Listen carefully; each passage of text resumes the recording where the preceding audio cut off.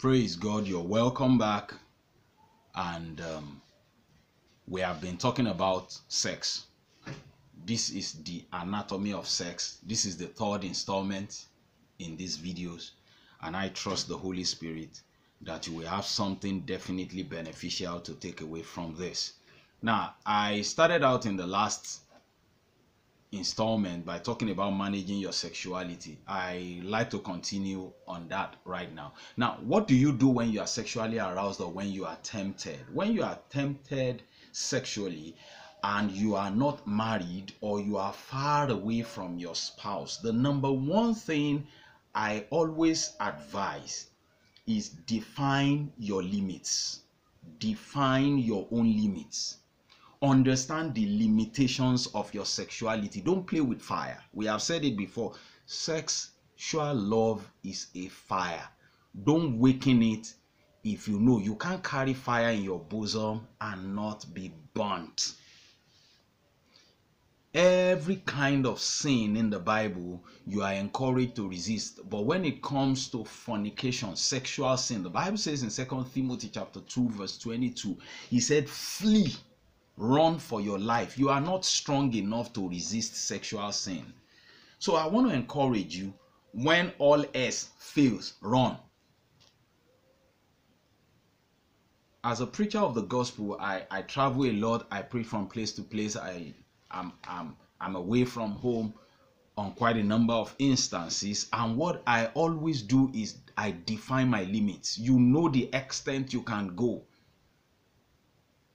I want to encourage you if you know when you are away, when you are away from home, maybe on business duties, and you are you are you you know yourself, you understand your body chemistry, you know how your body works. I want to encourage you don't play with fire. Understand the limitations of your sexuality. Don't go around when your spouse, if you're married, when your spouse is not there, you go expose yourself to things that will that will cause you to burn unnecessarily run, run. Like Joseph ran when he was with Potiphar's wife. He left his coat behind and, and ran for his life. I want to encourage you. Define your limits. Don't test, don't test the boundaries. Don't test the boundaries. Define your limits. You're single, maybe you are courting someone, you are planning to get married. Don't stay in private places. Sex needs privacy to be to be executed define your limits. Define your limits. Define your limits. Know beforehand what you can allow what you will not allow. Define your limits. That's the first thing i'll say. Secondly i want to encourage you the moment you feel you are under pressure sexually engage in other activities. Diffuse the tension you see sexual energy is still energy. If you find something else to to to to put to take it away to take the energy away find it engage in it engage in other activities. If you are dating someone when i when i was courting my wife when we were dating we engage in other activities not all every time playing together praying together. Not every time studying the bible. There are times we go we play. You know there are times we go we watch a movie. There are times okay there, there weren't movies that time you know. While i was on campus we used to go and watch stage drama in the theater arts department you know. So i, I want to encourage you find something to do. Preferably an activity that involve other people engage in other activities. Number three, have enough self respect to say no. When you are under sexual pressure, have enough self respect to tell yourself no and to tell the other person no. The object of your sexual fantasy, no. The person that is pressuring you, no. Number four, I also say have the dignity to respect the other person's no if you are the one pressuring the other person have the respect for the other person's no. No is no. Even if the person is consenting have the enough self-respect to say no to it. If you are dating a partner that does not value or respect your body enough if you are single hear me if you are dating someone that does not value or respect you enough does not value your body that when you say no i encourage you ditch him. Your destiny is not tied to one singular married uh, partner. If he's always constantly pressuring you if he's the man or he's the woman ditch that person. Your destiny is not safe. Our world today is filled with you know with a lot of abuse and misuse of sex you know the most common is is is fornication. That's that's that's sex before marriage. And then you have you have adultery. That's sex outside of your marriage bed extramarital sex. Then you have incest. That's sex with a close blood relation. And I hope you know in the scriptural records, it attracts a curse. Homosexuality is there. You know, sex with a person of the same gender. I'm not going into all the full details right now, but I'm just saying you need to be aware of this. And then maybe you engage in masturbation, personal sexual stimulation of course, I know a lot of people will disagree with me on this, but I'll tell you something. You may say it's harmless, it hurts nobody, but it's selfish. Sex was not designed to bring you pleasure alone, but to pleasure your spouse. So when you begin to indulge in masturbation, it can actually, in the long run, begin to affect your capability to enjoy mutual sex with your marriage partner. Don't indulge in it because when you begin to indulge in it, eventually you will begin to engage in unwholesome activities where sex is concerned. And then, lastly, the abuse of sex is rape. That's sex without the other person's consent, forced sex. It's it's pitiable. We see a lot of things in our world, but I want to encourage you, you will not be part of the statistics. And if you have been part of it, I am trusting the Holy Spirit that the Lord will help you. You know, of course, premarital or extramarital sex does not come without its consequences.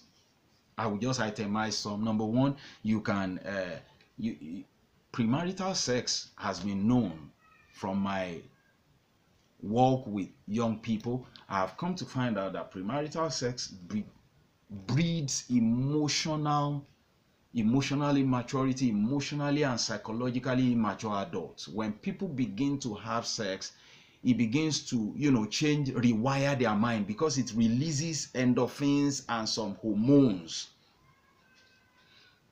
It can begin to affect the way you think about a lot of things. That's why some people have not been able to detach themselves from abusive relationships because they have started indulging in sex. So their, their sense of judgment has become impaired. It also, premarital sex also makes it difficult for you to develop real trust in marriage. You know, once you violate the trust of your partner, it becomes very hard you know it becomes very hard for you to to to trust the other party also when you begin to indulge in sex before marriage, even if it is with the person you you said you are going to marry, it begins to cloud your judgment on marital compatibility. It begins to blind you because you are enjoying it. You begin to close your eyes to some other wrong things that you know in the long run will sabotage your happiness if you eventually consummate that marriage. And of course, we all know it can lead to unwanted pregnancies and abortion if you engage in premarital sex, it can leave a woman wounded if it does not lead to marriage. You know, sex is not just sex. I've said that before. It it it it brings alongside with it emotional bonding. And once you are emotionally bonded with someone, it becomes very hard at times to disconnect the soul tie that you have. And of course, the risk of sexually transmitted infections and diseases is also there it stunts your character development too. And it can affect your future sexual fulfillment. One of the beautiful things about getting married as a virgin, you know, of course, if you have had previous sexual, experiences, Jesus Christ can give you a brand new day. But the truth of the matter is that when you have had multiple sexual partners, it can affect your future sexual fulfillment because in your mind you begin to play it up you begin to compare your spouse your husband or your wife to the previous sexual partners you have and if there have been nasty experiences it can result in frigidity now, what is the conclusion of this whole matter that I'm saying today? I am saying that if you have found yourself in situations that are not wholesome, there is a way out. There is a balm in Gilead. If you are falling into sexual sins, there is forgiveness. There is forgiveness. There is forgiveness. Jesus Christ can give you a brand new day. Jesus Christ can give you a brand new day. Uh, today, I'm going to pray with you. There is victory if you are addicted to sexual sins. There is healing if you have been a victim of any form of sexual abuse. If you are struggling with pornography, there is victory for you in the name of Jesus. And I'm just going to take this moment. I'm going to pray with you. Wherever you're watching this video, you can just, you know, touch your phone or touch your screen or whatever it is and in agreement with me, I'm going to pray for you that God will give you a way out. Father, I'm praying for the person listening to me right now. Lord, perhaps they have been involved in sexual sin, in sexual malpractices. Lord, way before now, I am asking you in the name of Jesus, and they sincerely want a way out. Some have been bound by masturbation, some have been bound to pornography. I pray for you in the name of Jesus that burden is lifted off your life right now in the name of Jesus.